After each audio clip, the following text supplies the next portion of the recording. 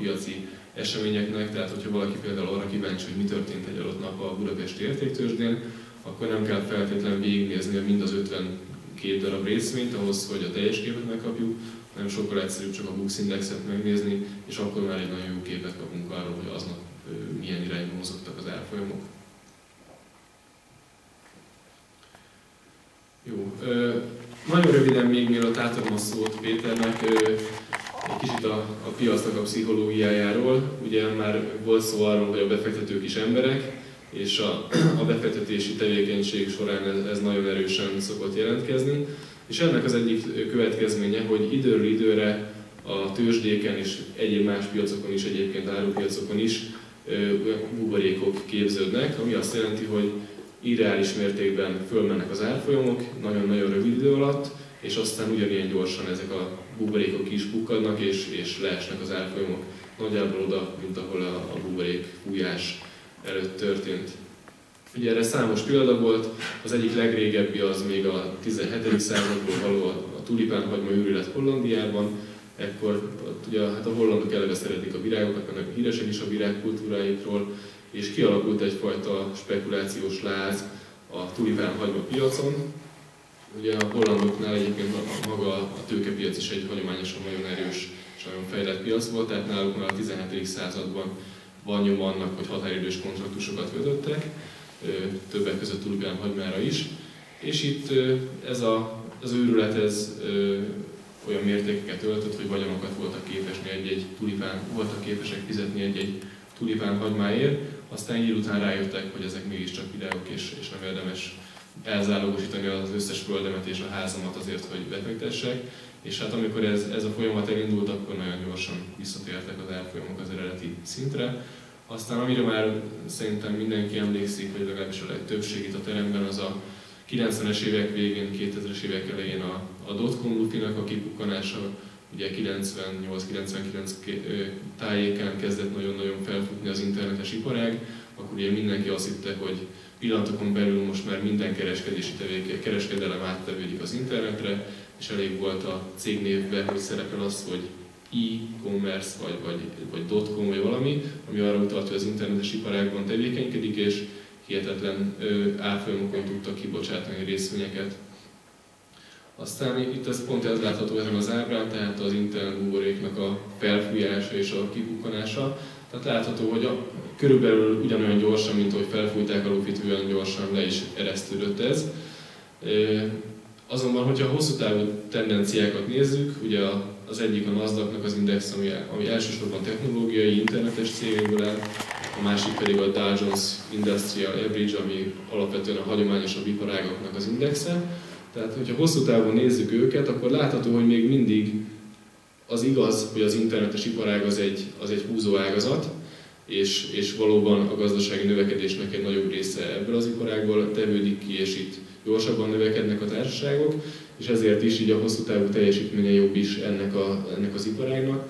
Azonban nem ennyivel, és nem ilyen hirtelen, nem ilyen exponenciális növekedés van ebben az iparágban sem.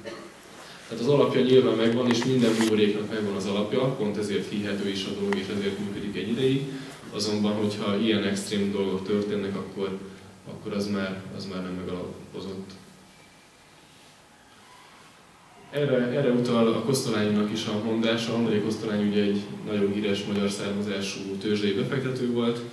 Ő, ő a tőzsdei árfolyamokat és a, a vállalatoknak a valós állapotát, teljesítményét azt ahhoz hasonlította, mint egy kutyát sétáltató gazda. Ugye elindulnak otthonról sétálni, egy helyről indulnak, közben a kutya az néha előre rohan, néha lemarad szaglászni, azonban alapvetően hosszú távon együtt haladnak és egyszerre fognak hazaérni.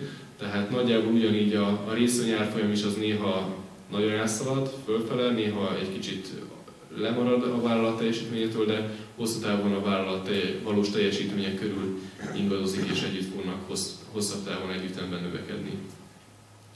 És ez nem csak egy adott részvény és annak az árfolyama között igaz, hanem a, a teljes gazdaság és a, a tőzsde tőkepiac teljesítménye között is érvényes az az összefüggés. Itt látható egyrészt itt fönt a, a piros az a magyar GDP-nek az alakulása, a szürke az pedig a Bux Index alakulása, ez 2000-től. Az amerikai adatok az kicsit régebb volt, 1960-as évek óta, a piros itt is a GDP alakulása, a szürke az pedig a Dow Jones Indexnek az alakulása.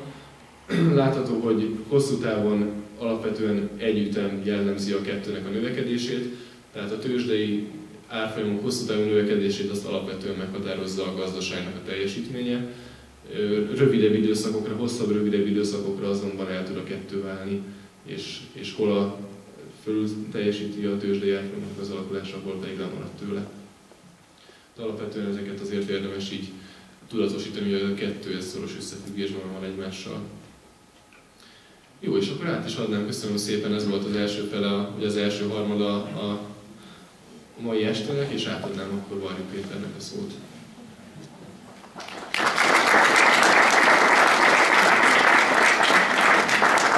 Köszönöm hogy kérdésekre a három előadásnak a legvégén lesz lehetőség, akkor mind a háromtól lehet majd kérdezni. Jó estét kívánok ismét, vagyis én is. Amíg itt a technikát megfejtem, bemutatkozásként annyit mesélnék el, hogy 97-ben kerültem, 1997-ben kerültem a, a tőzsde világába, azelőtt pedig a családos városnak a járdáit koptattam, és sokoli vagyok én is, és még ma is ide járok haza. Amit ma hoztam, az gyakorlati megközelítés. Az elmúlt 16 évben szinte a semmiből láttam megszületni olykor milliárdos vagyonokat, és ugyanúgy láttam milliárdos vagyonokat eltűnni a semmibe. És próbáltam egy olyan estét összeállítani, ahol megpróbáljuk levonni azokat a tapasztalatokat, megfigyeléseket, amelyeket elkerülve az ember hosszú távon sikeres tud lenni, vagy alkalmazva ezeket a technikákat előnyre tud szert egy átlagos úgy fogalmaznám, hogy mondjuk intuitív trédelővel szemben. A, az előbb hallhattuk már azt, hogy a spekuláció, a spekuláns az nem egészen azt jelenti, mint a hétköznapi használatban. A tőzsdei értelemben a spekuláns az azt jelenti, hogy vállalkozó.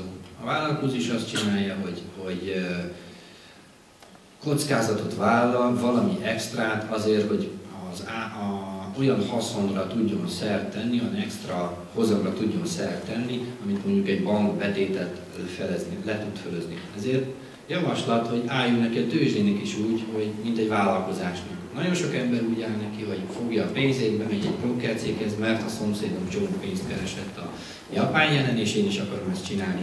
Ezzel így nehéz lesz hosszú távon sikeresnek lenni. Ahogy egy vállalkozás indulásánál itt is nagyon fontos az első lépések eltervezése. Az ember nem nyit zöldséges kereskedést úgy, hogy, hogy fogom a pénzem, kiveszem az első helységet, azt elrakom almával. Ez, egy hosszú távon ez sem fog ott működni, a tőzsdevilágában sem. El kell szépen tervezni előre, mit szeretnék a tőzsdei teljesítmény során kapni, és mi az az erő, amit bele tudok adni.